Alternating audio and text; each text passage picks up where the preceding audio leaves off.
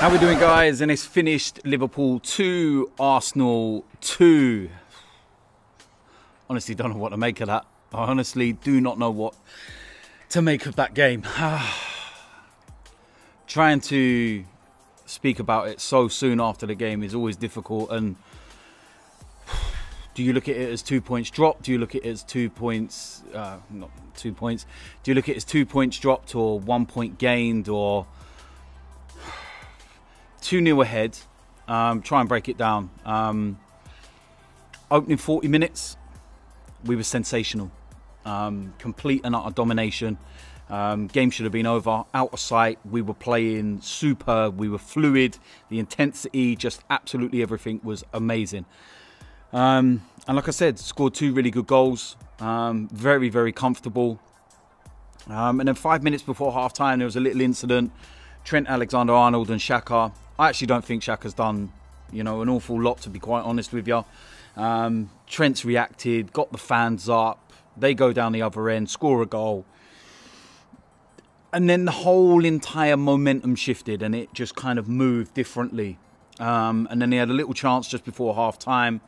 And then you go in at half time and you're thinking, okay, we got in at half time, 2 1 ahead. We'll come out and play the same way that we were in that first 40. Don't panic and there's more goals in this game.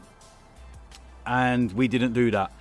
Um, I don't know what happened. I don't know whether we looked a little tired. I don't know why we should be looking tired when we're having so much rest.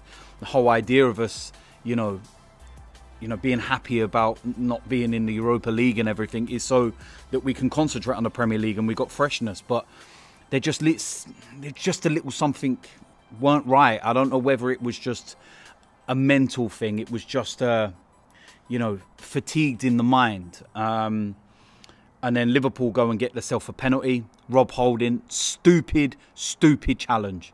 Clear as day a penalty. Um, Mo Salah misses. Um, and I'm sitting there and I'm thinking, you know what?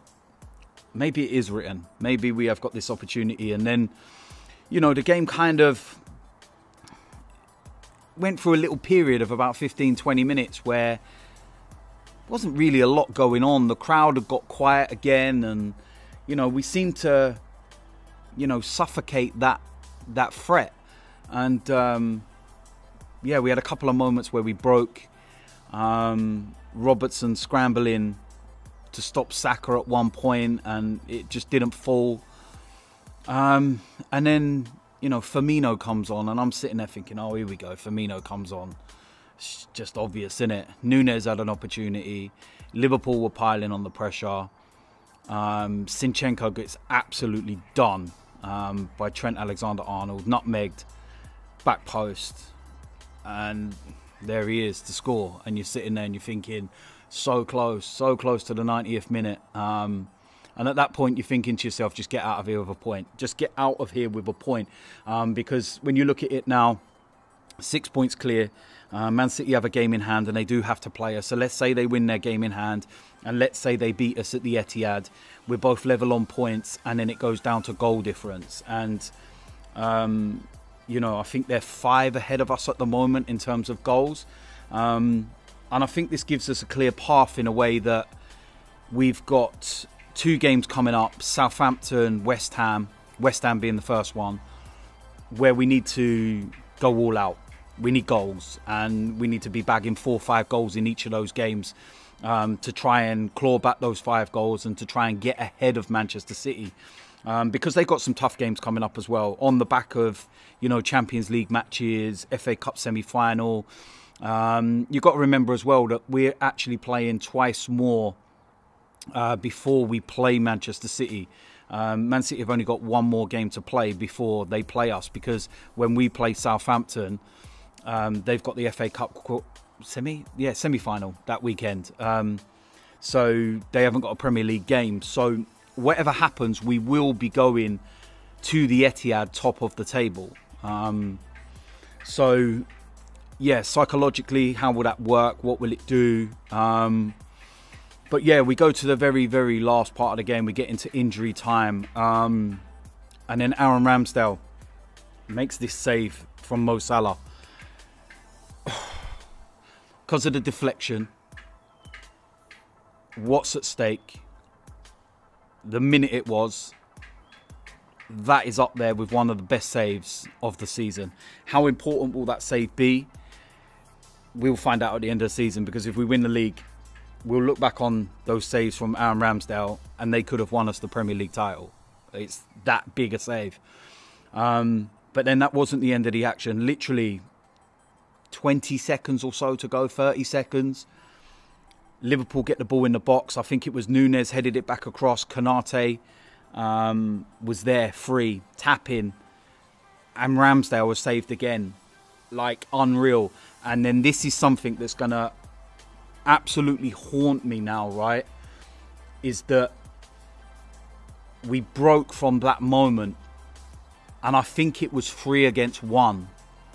And it was Martinelli that had the ball on the left, and he took too long to pass it anyway. And Saka is clean through one on one with a keeper. It's a simple pass into him. And you literally can win the game with the last kick. It would have been absolute carnage. And I don't know how he's got it wrong, but he's got it wrong. And he's overhit the pass, and Alisson's come out. That could be a big moment as well. Because despite Liverpool and everything that they did in the second half, and the fact that they could have gone on and won that game, we could have nicked it with that moment. And um, I think that we've only got ourselves to blame in some respects. I don't know why we went defensive in the second half. I don't know what was, you know, sent to them instructions wise at half time, whether, you know, they played within themselves. I don't know.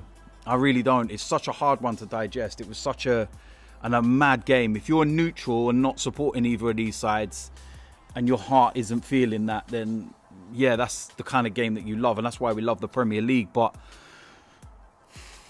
crazy, just crazy, and it's it, it is a difficult one. Like I said, it's I'm kind of leaning more towards a point gained, ending that you know problem at Anfield, and you know you got to remember Man City have gone there and lost, and Man United got slapped seven 0 and um, despite Liverpool's poor you know form this season, they're always difficult to beat at Anfield. So I'm looking at it and I'm thinking, okay, that's a point gained given the context of how many chances Liverpool had in that second half and the missed penalty and everything else.